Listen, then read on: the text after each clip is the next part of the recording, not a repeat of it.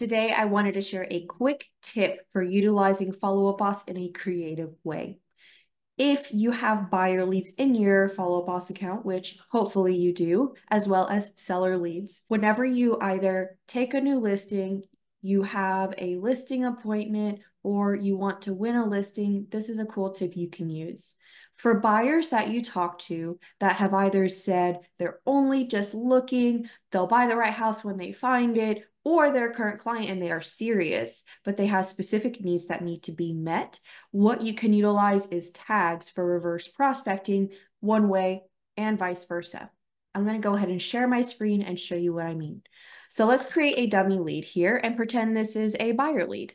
Let's say we talk to a buyer lead, this buyer lead, and they say they're looking for a four bedroom home. So I'm going to tag their specific amenity needs here.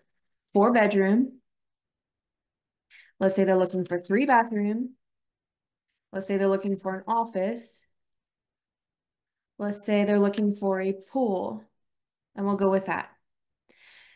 Now, let's say we have a new listing on the market that we know has, oh, and then let's also say they're looking in a specific zip code. So I'll just put in a zip code here. So now let's say we have a new listing on the market and we know the amenities about it and we want to reverse prospect. So what you can do in the people screen is add a filter by tag. And let's show people who have a specific tag looking for a home with a pool. And you can narrow down even more. I'd recommend not trying to narrow down too much by showing every single amenity because people may be interested in the home even if it doesn't check every single box.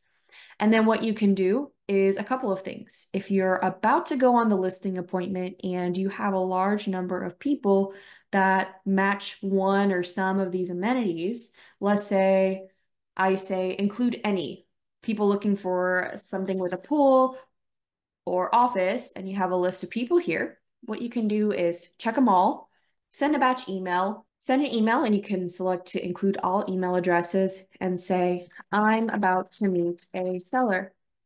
And you can send, and I got this hack from Jimmy Mackin. Unfortunately, I don't have the exact script he uses, but it's something like, hi, first name. I'm about to meet a potential seller in Fort Worth, Texas. This property has a pool, la la la. And then you can say, would it be helpful if I sent you and then whatever it is, if the property owner gives you permission, maybe you can snap a few photos if you have a good camera, or say, if, would it be helpful if I sent you more information if the seller decides to list so you can be the first one to know? So what's helpful about this is twofold. One, you'll get responses from potential buyers that are looking for a specific amenity and you can spark conversation again.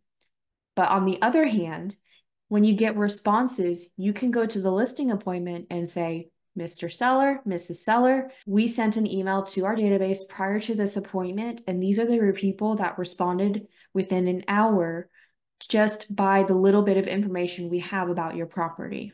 And so you can use that as a tool to show that you do have buyers and you're not just saying it. Another cool hack you can do on the topic of listing appointments is depending on the website provider, IDX provider you use, you can also use this on an appointment. I wasn't planning on sharing this in this video, but I, it just came to mind. You can uh, go to reporting properties and pull up a map view of the inquiries you have. I don't have any here since I don't have an IDX provider, but you can kind of see grayed out and you can zoom in and out and show how many inquiries you've had in the different areas on the listing appointment.